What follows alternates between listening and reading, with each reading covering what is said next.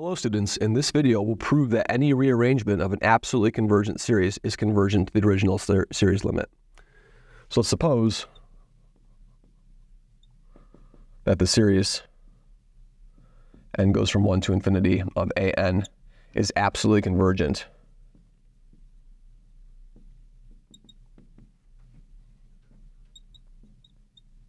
We know that if you're absolutely convergent, then you're automatically convergent. So it's also convergent to a limit. Let's call it limit L, okay? A rearrangement given a one-to-one -one function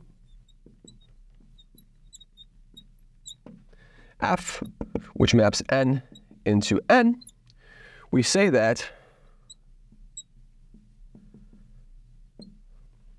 a sequence Bn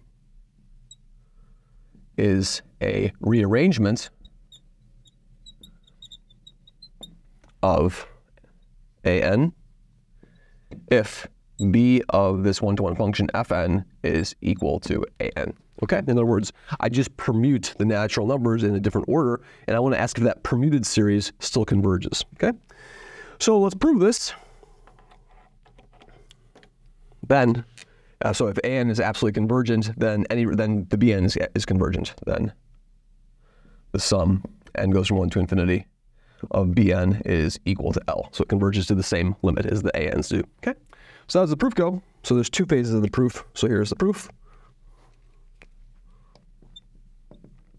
Let epsilon be greater than 0 and pick n in n such that, such that what? Such that Sn, which is going to be, um, Sn is just going to be the sum, j goes from 1 to n of the a, j, okay?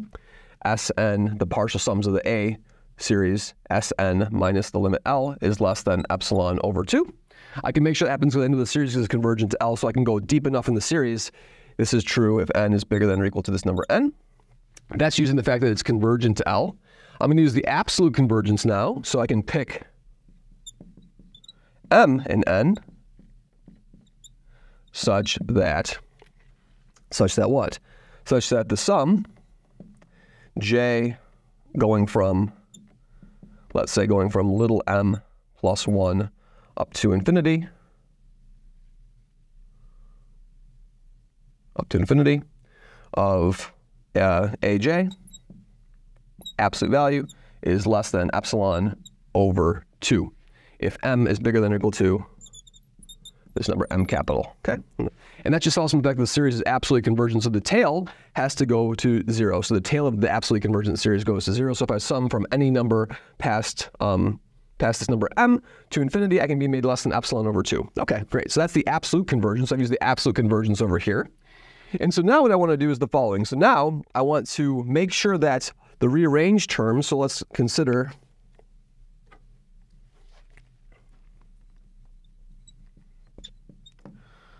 um, let's let Tn, Tm be B1 plus B2 plus Bm. And since there's a relationship between the F's and the B's, I want to go deep enough in the series so that I get close enough to the tail, essentially. So what I'm going to do is the following.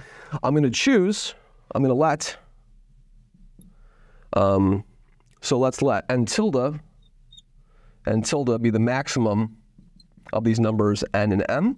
So I want both of these conditions, that will ensure that both these conditions over here, these conditions will both be satisfied if I choose this for my common value n tilde over here. And then I'm going to let m tilde be the maximum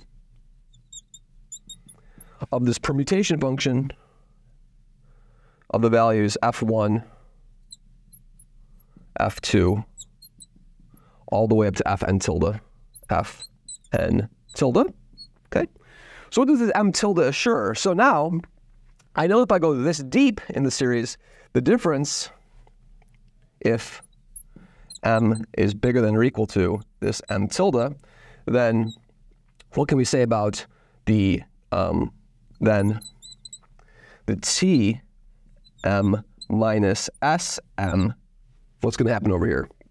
Well, I know that for these for these values of m, I've achieved what? I've achieved I've already got past this number, this number, this number, this number. So all of the m past these values, the tm in my series, all the way up to the b1, b2, b3, have already canceled out with every single one of the sn. So these the remainder terms over here. So in other words, once m is past this threshold m tilde, the b1, b2, b3, da, da, da, bm will have achieved every single value of the a sequence over here. So this will be contained. These terms are contained